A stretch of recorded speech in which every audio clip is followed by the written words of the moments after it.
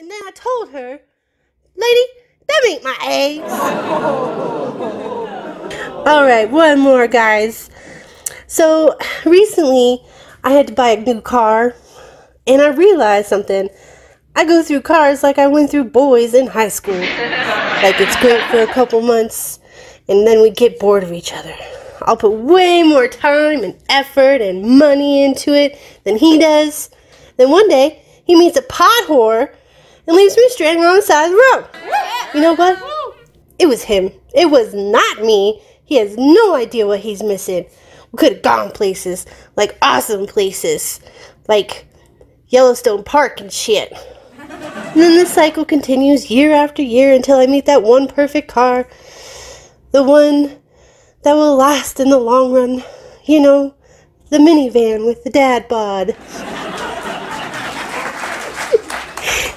All right, and with that, ladies and gentlemen, here is your headliner, my best friend's minivan, Andrew Ingram.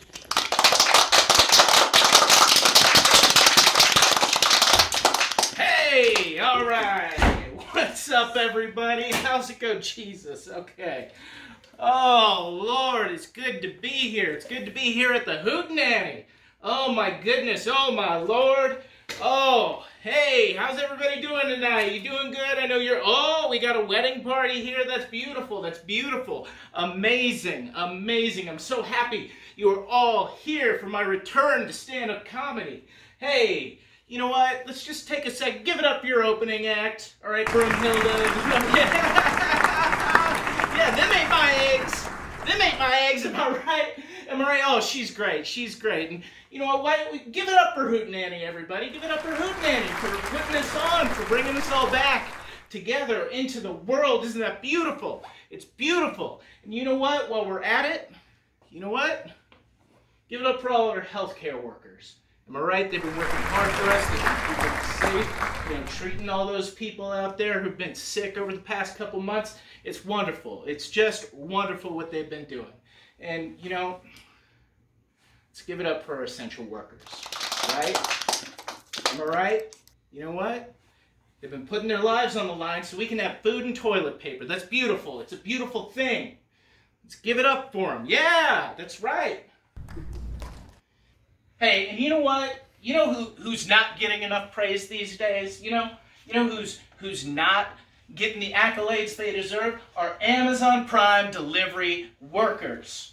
Yeah, now those guys are putting in the hard work. We're all bored in quarantine. We've been bored for months. We've had nothing to do. And they've been bringing us puzzles. They've been bringing us Legos. They've been bringing us DVDs. Also, we have something to do and we don't go crazy. I just I just want to give it up for them too. Yeah? Yeah. You know what, guys? I don't want to. I don't want to bring down the mood. This has been. This has been a wonderful night, but let's.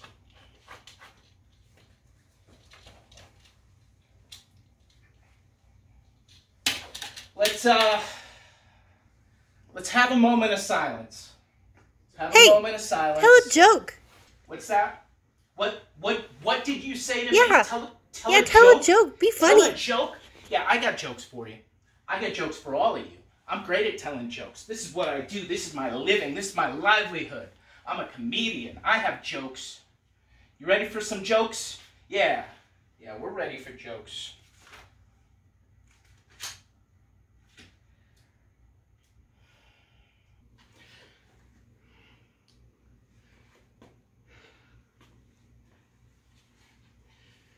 Guys, I didn't write any jokes. I tried. I tried. I I I I I, really tried. I tried. I've been at home. I've Been at home for two months. I tried. I tried writing jokes. I I just I played Xbox. I watched I watched Community, and I I just I couldn't. There was nothing funny happening in the world. Everything was so sad. Everything was Everything was so sad, guys. I tried. I, want to be funny. I'm a good comedian. I'm a good person. I just, I want to, I want to, I, I just want to do comedy again. I just want to make you laugh. I want, I want to be good.